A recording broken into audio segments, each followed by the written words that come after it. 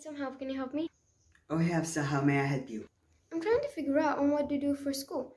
It's Say No to Drugs Week, and I have to talk in front of an assembly on what to do if someone offers you drugs. I don't know where to start. Well, I would start with peer pressure. A lot of kids use drugs because of peer pressure. What is a peer pressure, Umar?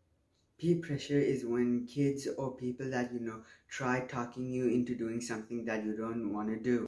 Like when my friends keep pushing me into playing hide and seek, I can't even stand hide and seek like that. Exactly. A lot of kids uh, are introduced to drugs by people they know.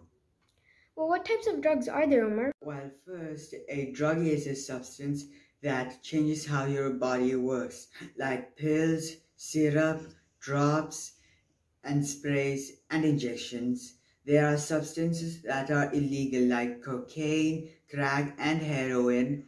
Also, su some legal substances are out there.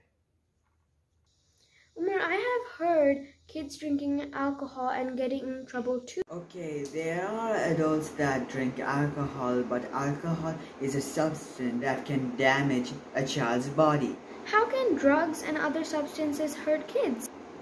They can make you hyper, speed up your heart rate, and may, may damage the heart, lungs, and other important organs inside you and they damage their brains. It causes somebody to go into a coma and not be able to wake up or even die. Look, I know it can be hard to say no to a friend or someone that you know, but there are a couple of ways to say no.